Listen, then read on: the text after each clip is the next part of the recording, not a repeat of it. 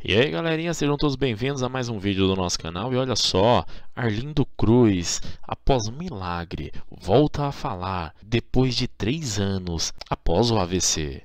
Segundo Arlindinho, filho do artista, o cantor, está querendo formar frases. Vejam só, filho de Arlindo Cruz e também cantor, Arlindinho revelou aos fãs que o pai está começando a falar, porém a formar as primeiras frases. A recuperação acontece após o sambista ficar com sequelas de um AVC em março de 2017. Em live no Instagram, o filho do artista disse que o pai voltou a falar, mesmo que lentamente.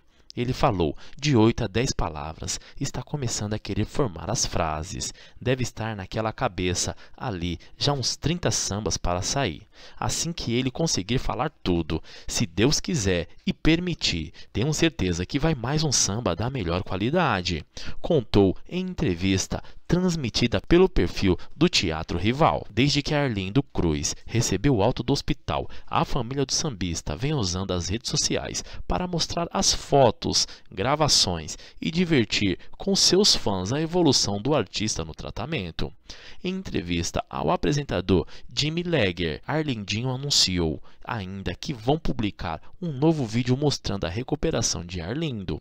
Graças a Deus, o corpo dele está respondendo bastante ao tratamento e ele está até falando algumas palavras.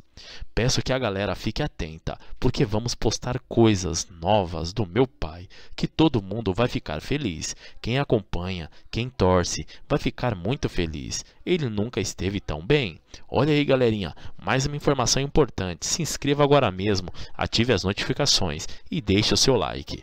Eu vou ficando por aqui, espero vocês no próximo vídeo. Não se esqueça de conferir nossa descrição aqui embaixo. Temos links parceiros. Vou ficando por aqui espero vocês no próximo vídeo. Tchau, tchau, pessoal.